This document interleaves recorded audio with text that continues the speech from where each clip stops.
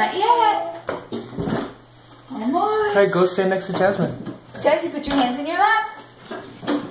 Good girl.